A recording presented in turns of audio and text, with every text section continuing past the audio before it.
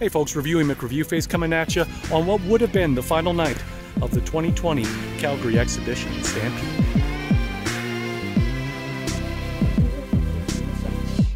That's right, so we are out here on Scotsman's Hill with a beautiful view of downtown Calgary and all of the Stampede grounds, as well as about a million mosquitoes we are out here tonight because, uh, don't tell anybody, but usually Calgary Exhibition and Stampede has fireworks that go off every single night.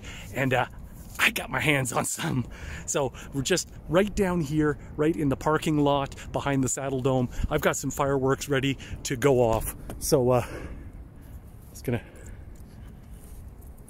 yeah, go ahead. All right, here we go. You ready to watch some, see some fire? should be doing this, honey. It's, it's, we'll be out of here before they even figure out where they're shooting from. Here we go with three, two. Oh.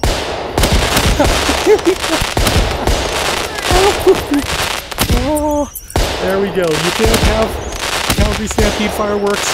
Reviewy's gonna give you some fireworks here. oh, yeah, that one. okay, um, that one went the wrong. What? What's? I think the I think the launcher tipped. I think the launcher tipped. The launcher tipped.